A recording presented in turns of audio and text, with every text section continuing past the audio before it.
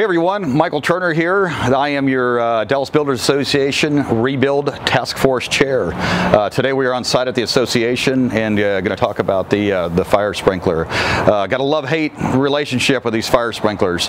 They are fantastic when they uh, when they save lives, and they are absolutely miserable when they flood buildings and do millions dollars worth of damage. So this is where the this is the fire sprinkler room.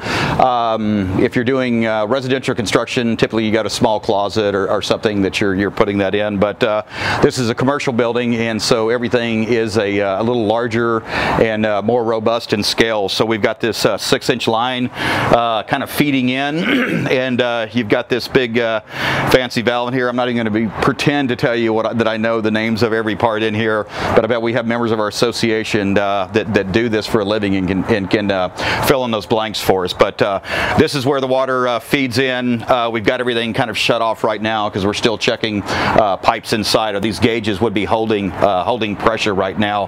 Um, but these also get tied in to an alarm system so that if the sprinkler system goes off, um, dials, uh, sets the alarm off, um, notifies the alarm monitoring company so that they can call the authorities to let them know that there is a fire uh, in progress. But as they go off and water starts flowing through that valve, it doesn't really know whether it's a fire or whether it's a freeze. So, but uh, you know, as you can tell with a line that large, uh, water flowing through there, uh, it's going to do a lot of damage, whether it's putting out a fire and then causing water damage, uh, or whether it's freeze, uh, thaw damage. Uh, pipe that big is going to carry a lot of water and put a lot of water inside your, your building, your house, before anybody has a chance to, to get there. So just wanted to let you know, this is the beast that started all the, all the problems inside the, inside the building there. So thank you very much for joining us.